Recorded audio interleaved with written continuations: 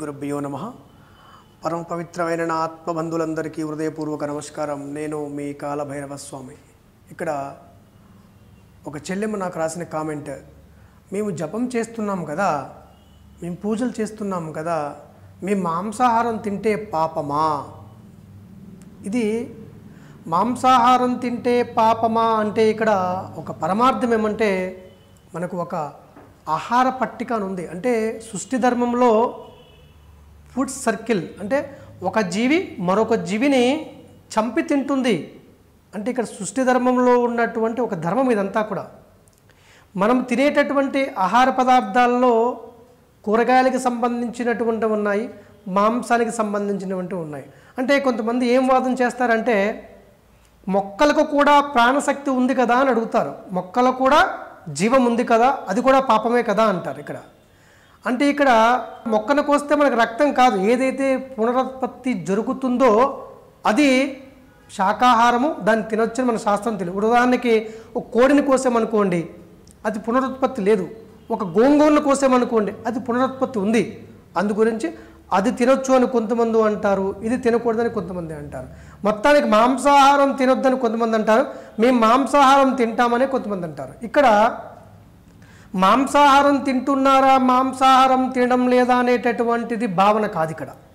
మీరు ఇక్కడ భక్తితో శ్రద్ధతో మీ జీవితాన్ని మీరు న్యాయంగా ధర్మంగా బతుకుతున్నారా లేదా?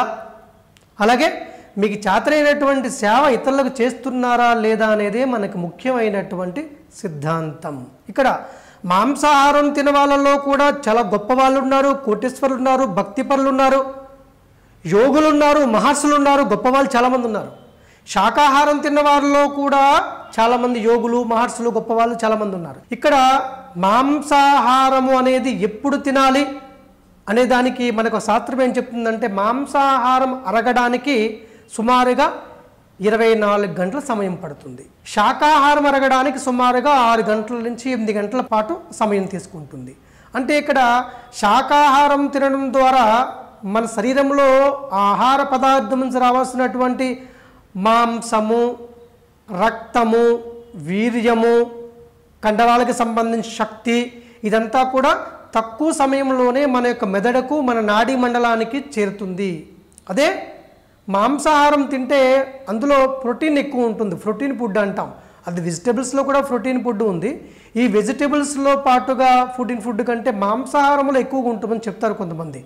ఈ మాంసాహారం మనం తిన్న తర్వాత కొద్దిగా బద్ధకంగా వస్తుంది. అది కాకుండా మాంసాహారం తిన్న తర్వాత ఆ ఆహారాన్ని అరిగించడం కోసము మన శరీరంలో ఉన్నటువంటి యొక్క రక్తమంతా కూడా పొట్ట చుట్టూ రావాలి. ఆ పొట్ట చుట్టూ వచ్చినప్పుడు అది మాత్రమే ఆ వేడి వలన ఈ యొక్క మాంసము అనేది అరగడం జరుగుతుంది. అంటే కొద్ది కష్టతరంగా అరుగుతుంది. అందుగురించే మాంసాహారం తినవద్దు పూజలు చేసేటప్పుడు అని చెప్తూ ఉంటారు. లేదు మాకు అరిగించుకునే శక్తి ఉంది మేము ఇదే తింటామంటే తినండి. ఎవరొద్దన్నారు ఇక్కడ? ఈ మాంసాహారం తినడం అని ఈరోజు మీరు కొత్తగా కనిపెట్టింది కాదు. పూర్వకాలం నుంచి ఎప్పుడో యుగ యుగాల నాటి నుంచి కూడా ఈ యొక్క మాంసాహారం తినేటటువంటి పద్ధతి ఉంది మనకి ఇక్కడ ఒక్కసారిగా మీరు మాంసాహారం తినొద్దు మాంసాహారం మానేయండి మాంసాహారం తింటే మీరు పూజలు చేయడానికి పనికిరారు అంటే అది పచ్చి అబద్ధం ఇక్కడ. మాంసాహారాన్ని ఎప్పుడు తినడం మానేయాలి మాంసాహారాన్ని ఎప్పుడు మానేస్తే బాగుంటుంది చెప్పేవాడు ఎవడు ఇక్కడ? ఒకరున్నాడు మన అంతరాత్మ మన మనస్సు. ఎవరో చెప్తే మనం వినం. మనం ఎందుకు వినాలి ఇక్కడ? మన అంతరాత్మ చెప్తుంది నువ్వు ఇది చెయ్యి ఇది చెయ్యకు ఇది తిను ఇది తినకు. ఎందుకంటే ఆ పరమాత్మకు సంబంధించినటువంటి పాజిటివ్ ఎనర్జీ అంతా ఉండి ఒక జడ్జి రూపంలో మనం ఏది మంచి చేస్తున్నాము ఏది చెడు చేస్తున్నాము అనేటటువంటి విశ్లేషణ గుణం కలిగినట్టు ఒక పవిత్రమైన శక్తివంతమైన న్యాయమూర్తి మనలోనే ఉన్నాడు ఆత్మరూపంలో ఆయన చెప్తూ ఉంటాడు. నువ్వు అబద్ధం ఆడుతున్నావు అబద్ధం ఆడకు. నువ్వు మోసం చేస్తున్నావు మోసం చేయకు.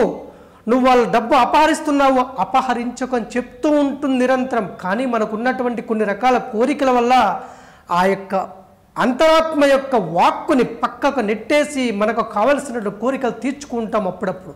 అందుకే జీవితంలో శాపంగా మహాశాపంగా దారుణమైన సమస్యగా పరిగణించి కష్టము కర్మగా అనుభవిస్తూ ఉంటాము. మాంసాహారం తినటూ మీరు మంత్రం చదవాలనుకుంటే చదవండి పూజ చేయాలనుకుంటే చేయండి అదేమీ తప్పు లేదు.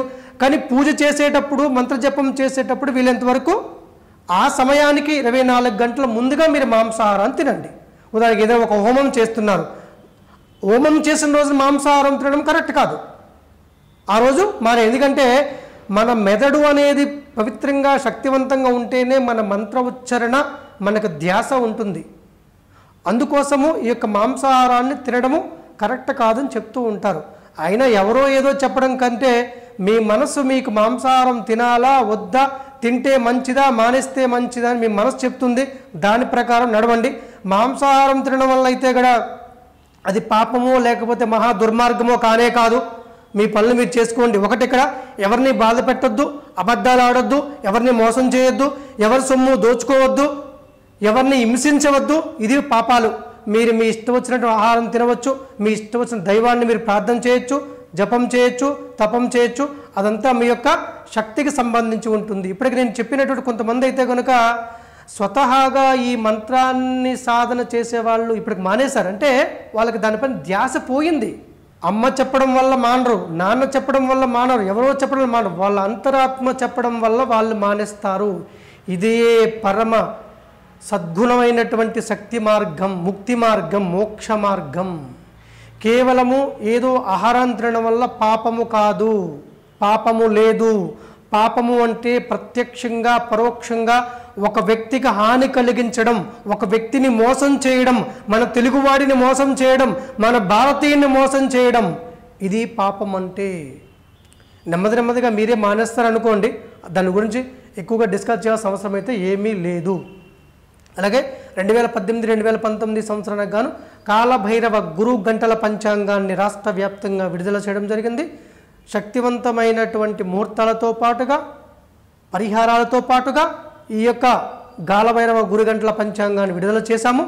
ఇందులో సామాన్యులకు కూడా అర్థమయ్యేటటువంటి సరళమైన భాషతో ఈ యొక్క పరిహారాలు ఇవ్వడం జరిగింది. నక్షత్ర శాంతి గ్రహశాంతి అలాగే దశమహావిద్యలకు సంబంధించిన స్పెషల్ రెమెడీస్ అన్నీ కూడా ఈ కాలవేరు గురుగంటల పంచాంగం ఇవ్వడం జరిగింది. ఈ కాలవేరు గురుగంటల పంచాంగము ప్రముఖ పూజా సంబంధించిన పుస్తక సంబంధించిన షాపుల్లో దొరుకుతుంది.